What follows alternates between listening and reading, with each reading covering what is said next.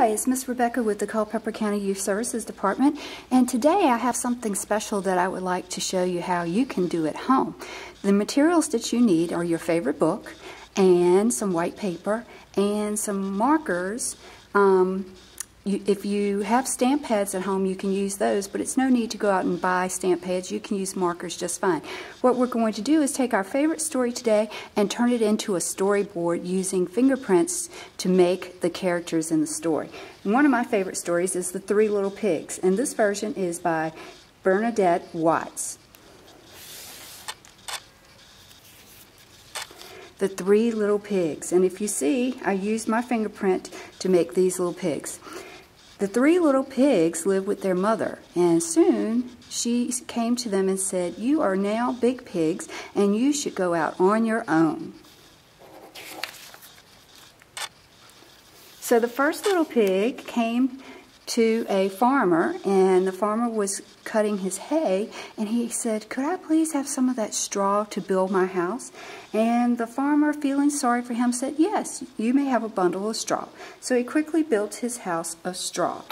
Now, what we're going to do is we're going to take a marker Ask your moms and dads to help you or to make sure that this is okay, but I have washable markers and they come off just fine with soap and water. So I'm going to draw my little pig in his house. There he is. Now, as the little pig was resting from all of his hard work, there came a knock at his door. And this is with gray marker. I'm going to make the person who, the character who came to his door.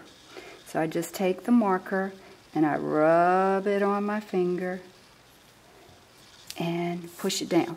That gives me my fingerprint. Now, I'm not very good with a wolf, so you have to bear with me.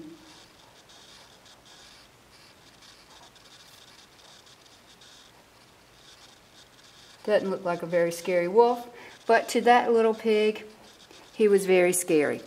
And he was licking his teeth, and he knocked on the door. Little pig, little pig, let me in. And the little pig said, Not by the hair of my chinny chin chin. Well, I'll huff and I'll puff and I'll blow your house in. And that's just what he did. So the little pig started running, and he soon came to the house of his brother, which was made of sticks. That brother had built his house of sticks and he ran as fast as he could and he went and said, Let me in, the wolf is after me.